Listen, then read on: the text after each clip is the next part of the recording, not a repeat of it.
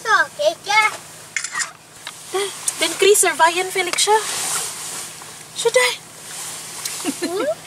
Den kriser veien. Ser du ikke? Kanskje der. Kanskje han. Ser du ikke? Mm, mm. Jo, Der! Nei, bare kjør på. Nei, det er et fint dyr, Felix. Hva, det, hva slags dyr er det, pappa? Jeg vet ikke, ti. Jeg vet ikke. Jeg skal sjekke. Den går så sakte, se.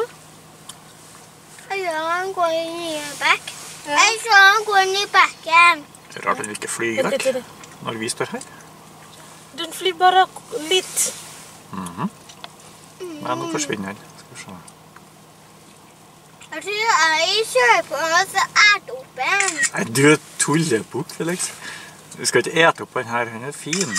Hva om vi kjører litt der, pappa? Jeg tror den flyr ikke. Eller sånn litt nærmere.